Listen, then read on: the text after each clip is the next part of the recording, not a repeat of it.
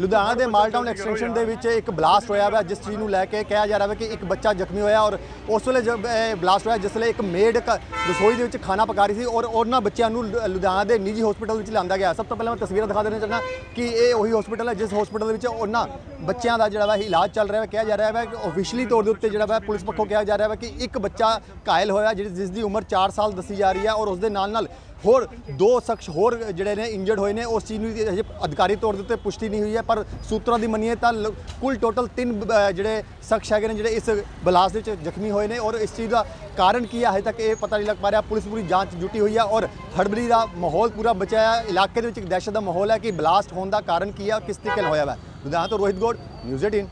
ਲੁਧਿਆਣਾ ਦੇ ਮਾਲਟਾਊਨ ਐਕਸਟੈਂਸ਼ਨ ਦੇ ਵਿੱਚ ਇੱਕ ਬਲਾਸਟ ਹੋਇਆ ਵਾ, ਜਿਸ ਚੀਜ਼ ਨੂੰ ਲੈ ਕੇ ਕਿਹਾ ਜਾ ਰਿਹਾ ਹੈ ਕਿ ਇੱਕ ਬੱਚਾ ਜ਼ਖਮੀ ਹੋਇਆ ਔਰ ਉਸ ਵੇਲੇ ਜਦ ਇਹ ਬਲਾਸਟ ਹੋਇਆ, ਜਿਸ ਵੇਲੇ ਇੱਕ ਮੇਡ ਰਸੋਈ ਦੇ ਵਿੱਚ ਖਾਣਾ ਪਕਾ ਰਹੀ ਸੀ ਔਰ ਉਹਨਾਂ ਬੱਚਿਆਂ ਨੂੰ ਲੁ- ਲੁਧਿਆਣਾ ਦੇ ਨਿੱਜੀ ਹਸਪੀਟਲ ਵਿੱਚ ਲਿਆਂਦਾ ਗਿਆ। ਸਭ ਤੋਂ ਪਹਿਲਾਂ ਮੈਂ ਤਸਵੀਰਾਂ ਦਿਖਾ ਦੇਣਾ ਚਾਹੁੰਦਾ ਕਿ ਇਹ ਉਹੀ ਹਸਪੀਟਲ ਹੈ, ਜਿਸ ਹਸਪੀਟਲ ਵਿੱਚ ਉਹਨਾਂ ਬੱਚਿਆਂ ਦਾ ਜਿਹੜਾ ਵਾ ਇਲਾਜ ਚੱਲ ਰਿਹਾ ਹੈ ਕਿਹਾ ਜਾ ਰਿਹਾ ਹੈ ਕਿ ਆਫੀਸ਼ੀਅਲੀ ਤੌਰ ਦੇ ਉੱਤੇ ਜਿਹੜਾ ਵਾ ਪੁਲਿਸ ਪੱਖੋਂ ਕਿਹਾ ਜਾ ਰਿਹਾ ਹੈ ਕਿ ਇੱਕ ਬੱਚਾ ਘਾਇਲ ਹੋਇਆ ਜਿਸ ਜਿਸ ਦੀ ਉਮਰ 4 ਸਾਲ ਦੱਸੀ ਜਾ ਰਹੀ ਹੈ ਔਰ ਉਸ ਦੇ ਨਾਲ ਨਾਲ ਹੋਰ ਦੋ ਸ਼ਖਸ ਹੋਰ ਜਿਹੜੇ ਨੇ ਇੰਜਰਡ ਹੋਏ ਨੇ, ਉਸ ਚੀਜ਼ ਨੂੰ ਹਜੇ ਅਧਿਕਾਰੀ ਤੌਰ ਦੇ ਉੱਤੇ ਪੁਸ਼ਟੀ ਨਹੀਂ ਹੋਈ ਹੈ, ਪਰ ਸੂਤਰਾਂ ਦੀ ਮੰਨੀਏ ਤਾਂ ਲ- ਕੁੱਲ ਟੋਟਲ ਤਿੰਨ ਬ- ਜਿਹੜੇ ਸ਼ਖਸ ਹੈਗੇ ਨੇ, ਜਿਹੜੇ ਇਸ ਬਲਾਸਟ ਵਿੱਚ ਜ਼ਖਮੀ ਹੋਏ ਨੇ ਔਰ ਇਸ ਚੀਜ਼ ਦਾ ਕਾਰਨ ਕੀ ਹੈ ਹਜੇ ਤੱਕ ਇਹ ਪਤਾ ਨਹੀਂ ਲੱਗ ਪਾ ਰਿਹਾ। ਪੁਲਿਸ ਪੂਰੀ ਜਾਂਚ ਜੁਟੀ ਹੋਈ ਹੈ ਔਰ ਹੜਬੜੀ ਦਾ ਮਾਹੌਲ ਪੂਰਾ ਬਚਿਆ ਹੈ ਇਲਾਕੇ ਦੇ ਵਿੱਚ ਇੱਕ ਦਹਿਸ਼ਤ ਦਾ ਮਾਹੌਲ ਹੈ ਕਿ ਬਲਾਸਟ ਹੋਣ ਦਾ ਕਾਰਨ ਕੀ ਹੈ ਕਿਸ ਤਰੀਕੇ ਨਾਲ ਹੋਇਆ ਵਾ? ਲੁਧਿਆਣਾ ਤੋਂ ਰੋਹਿਤ ਗੋਡ ਨਿਊਜ਼ 18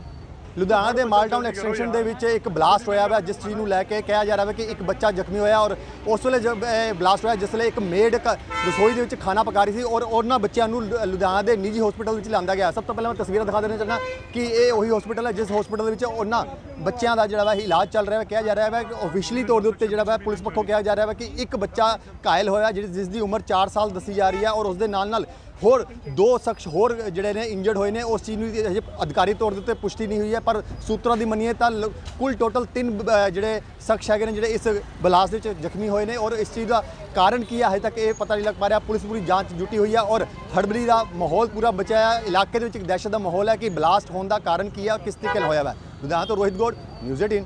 ਲੁਧਿਆਣਾ ਦੇ ਮਾਲਟਾਊਨ ਐਕਸਟੈਂਸ਼ਨ ਦੇ ਵਿੱਚ ਇੱਕ ਬਲਾਸਟ ਹੋਇਆ ਵਾ, ਜਿਸ ਚੀਜ਼ ਨੂੰ ਲੈ ਕੇ ਕਿਹਾ ਜਾ ਰਿਹਾ ਵਾ ਕਿ ਇੱਕ ਬੱਚਾ ਜ਼ਖਮੀ ਹੋਇਆ ਔਰ ਉਸ ਵੇਲੇ ਜਦ ਬਲਾਸਟ ਹੋਇਆ, ਜਿਸ ਵੇਲੇ ਇੱਕ ਮੇਡ ਰਸੋਈ ਦੇ ਵਿੱਚ ਖਾਣਾ ਪਕਾ ਰਹੀ ਸੀ ਔਰ ਉਹਨਾਂ ਬੱਚਿਆਂ ਨੂੰ ਲੁ- ਲੁਧਿਆਣਾ ਦੇ ਨਿੱਜੀ ਹਸਪੀਟਲ ਵਿੱਚ ਲਿਆਂਦਾ ਗਿਆ। ਸਭ ਤੋਂ ਪਹਿਲਾਂ ਮੈਂ ਤਸਵੀਰਾਂ ਦਿਖਾ ਦੇਣਾ ਚਾਹੁੰਦਾ ਕਿ ਇਹ ਉਹੀ ਹਸਪੀਟਲ ਹੈ, ਜਿਸ ਹਸਪੀਟਲ ਦੇ ਵਿੱਚ ਉਹਨਾਂ ਬੱਚਿਆਂ ਦਾ ਜਿਹੜਾ ਵਾ ਇਲਾਜ ਚੱਲ ਰਿਹਾ ਹੈ ਕਿਹਾ ਜਾ ਰਿਹਾ ਹੈ ਕਿ ਆਫੀਸ਼ੀਅਲੀ ਤੌਰ ਦੇ ਉੱਤੇ ਜਿਹੜਾ ਵਾ ਪੁਲਿਸ ਪੱਖੋਂ ਕਿਹਾ ਜਾ ਰਿਹਾ ਹੈ ਕਿ ਇੱਕ ਬੱਚਾ ਘਾਇਲ ਹੋਇਆ, ਜਿਸ ਜਿਸ ਦੀ ਉਮਰ 4 ਸਾਲ ਦੱਸੀ ਜਾ ਰਹੀ ਹੈ ਔਰ ਉਸ ਦੇ ਨਾਲ ਨਾਲ ਹੋਰ ਦੋ ਸ਼ਖਸ ਹੋਰ ਜਿਹੜੇ ਨੇ ਇੰਜਰਡ ਹੋਏ ਨੇ, ਉਸ ਚੀਜ਼ ਨੂੰ ਹਜੇ ਅਧਿਕਾਰੀ ਤੌਰ ਦੇ ਉੱਤੇ ਪੁਸ਼ਟੀ ਨਹੀਂ ਹੋਈ ਹੈ, ਪਰ ਸੂਤਰਾਂ ਦੀ ਮੰਨੀਏ ਤਾਂ ਲ- ਕੁੱਲ ਟੋਟਲ ਤਿੰਨ ਜਿਹੜੇ ਸ਼ਖਸ ਹੈਗੇ ਨੇ, ਜਿਹੜੇ ਇਸ ਬਲਾਸਟ ਵਿੱਚ ਜ਼ਖਮੀ ਹੋਏ ਨੇ ਔਰ ਇਸ ਚੀਜ਼ ਦਾ ਕਾਰਨ ਕੀ ਹੈ, ਹਜੇ ਤੱਕ ਇਹ ਪਤਾ ਨਹੀਂ ਲੱਗ ਪਾ ਰਿਹਾ। ਪੁਲਿਸ ਪੂਰੀ ਜਾਂਚ ਜੁਟੀ ਹੋਈ ਹੈ ਔਰ ਹੜਬੜੀ ਦਾ ਮਾਹੌਲ ਪੂਰਾ ਬਚਿਆ ਹੈ ਇਲਾਕੇ ਦੇ ਵਿੱਚ ਇੱਕ ਦਹਿਸ਼ਤ ਦਾ ਮਾਹੌਲ ਹੈ ਕਿ ਬਲਾਸਟ ਹੋਣ ਦਾ ਕਾਰਨ ਕੀ ਹੈ ਕਿਸ ਤਰੀਕੇ ਨਾਲ ਹੋਇਆ ਵਾ। ਲੁਧਿਆਣਾ ਤੋਂ ਰੋਹਿਤ ਗੋਡ ਨਿਊਜ਼ 18